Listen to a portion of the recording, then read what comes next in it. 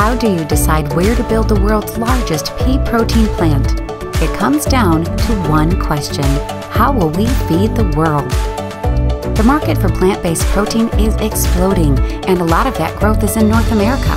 When the time came for Roquette to expand its capacity for pea protein ingredients, we turned to Manitoba, Canada.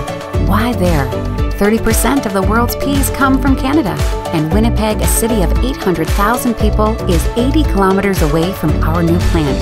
That means access to skilled brokers and to shipping anywhere else on the continent. Roquette's new plant is close to growers and it's close to customers, and that means you get the ingredients you need on time, on spec, at volume. And that's how we'll feed the world. Because Manitoba is, is an agricultural economy and they have a big role to play in feeding the world with proteins.